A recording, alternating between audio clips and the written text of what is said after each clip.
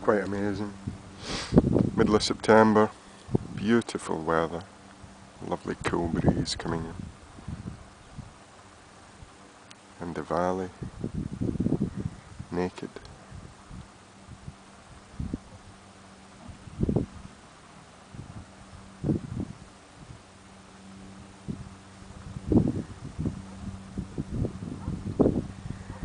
I was reading that uh, in terms of home ranges, it's not just your locomotive force that defines it and how far you can get on your own steam, but perhaps even your perceptual range, your sight and vision of the land in which you live.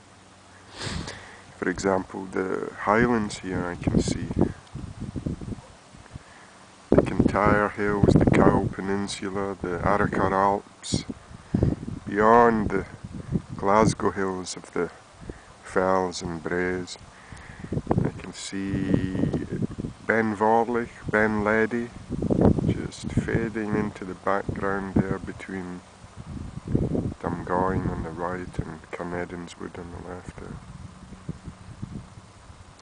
And so on a clear day you can actually see, if you're in the Kilpatricks here to the north, you can see down to the coast, to Ailsa Craig, to the islands, to the ocean beyond. And so in terms of a place to live and and how you can garner that distance, that bandwidth of vision from its uh, gentle hills, it's, it's, there's no city like it.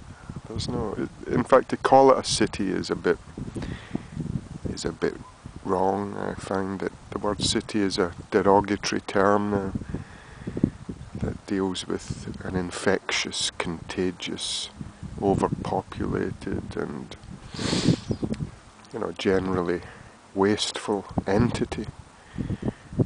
Whereas Glasgow doesn't appear to be that. Certainly not in my mind uh, with the distortion, let's say, of its epicenter. It seems more country, more natural land than concrete, which is what I tend to identify with the word city. Concrete and walls and cages, if not coffins. But up here it's it's the opposite of a coffin.